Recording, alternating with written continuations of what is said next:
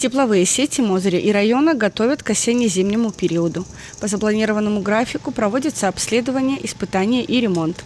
В этом году модернизируют несколько крупных участков теплотрасс. На этот год э, запланирована реконструкция шести участков тепловых сетей э, с вводом объектов, опять же, в этом году.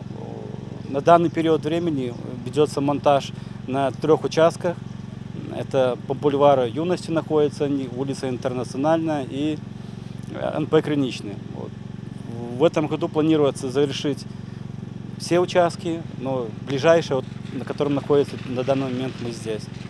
Вот. Все остальные будут завершены и введены в эксплуатацию в августе-сентябре этого года. Сегодня работы на этом участке на бульваре Юности уже завершены, а вот на Интернациональной в самом разгаре. Здесь планово меняют тепломагистраль, а потом проведут благоустройство. Появятся в том числе элементы безбарьерной среды и специальная тактильная плитка для слабовидящих пешеходов. Объект Мозырская ТЭЦ планируют сдать в первых числах сентября. Специалисты рассказывают, что теплосети модернизируют по мере старения. Современное эффективное решение – применение пи-труб. Они надежны в эксплуатации, долговечного использования, помогают снижать теплопотери.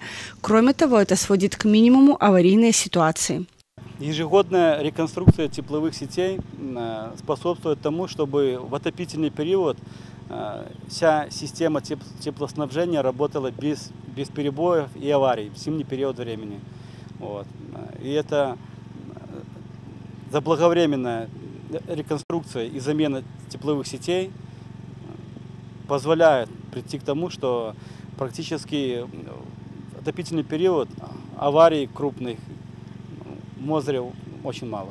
Параллельно подготовку к отопительному сезону ведут коммунальные службы. Ремонтируются приборы учета, стыки и кровли жилых домов. Екатерина Юрченко, Ян Михаленя, телеканал Мозырь.